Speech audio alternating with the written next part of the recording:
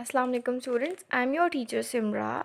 And last time we did five questions of the flying carpet. And today we are going to do rest of the questions of the flying carpet. Question number 6 to question number 10 and these questions are a little bit lengthier than the other ones.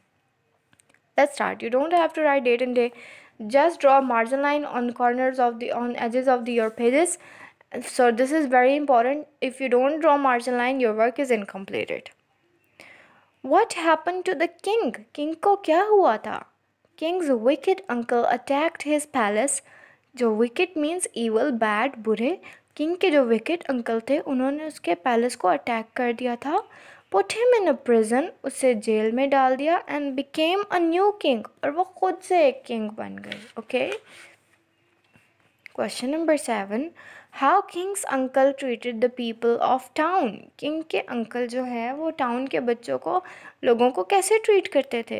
He force the people to pay him money वो लोगों को force means ज़बरदस्ती करना। वो लोगों को ज़बरदस्ती करते थे कि उनको पैसे दें। इफ़ दे कुरेंट पे इट और अगर वो पे नहीं कर सकते थे then he used to put him in a put them in a prison sorry यहाँ पर दम आएगा। Then he used to put them. T H E M तो वो उन सारे लोगों को प्रिजन में डाल देते थे। हिम का मतलब एक लड़का तम का मतलब बहुत सारे लोग। सो वो सारे, बहुत सारे लोगों को डाल देता था प्रिजन में जेल में। What happened to king's mother she ran away वो दूर भाग गई टू माउंटेन्स माउंटेन्स मीन पहाड़ों में। And took the army with her और अपनी आर्मी अपनी फ़ौज भी अपने साथ ले गई।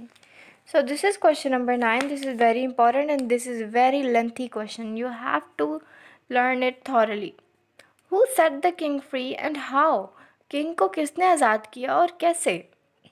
Biff and Kipper set the king free by helping him to climb out of the window Biff and Kipper ने किंग को फ्री किया उसकी हेल्प करते हुए ताकि वो विंडो से बाहर क्लाइंब करने में हेल्प करते हुए। then they all sat on the carpet फिर वो सब कारपेट पे बैठ गए and the carpet took them to the to king's mother and carpet जो है किंग की मदर के पास उन्हें ले गया so this is a very big and lengthy question you have to just uh, learn it uh, in in the parts okay just first learn from here to here and then learn, learn from then to then to mother okay so next question what did the king give to biff and kipper king ने बिफ और किपर को क्या दिया he gave them a beautiful toy camel उसने क्या दिया था बिफ और किपर को उसने एक toy camel दिया था so these are the question and answers of uh, the flying carpet there are total 1 2 3 4 5 6 7 8 9 10 questions of the flying carpet. In the next class i'm to give you homework for words words and sentences. You have to make those sentences on your own.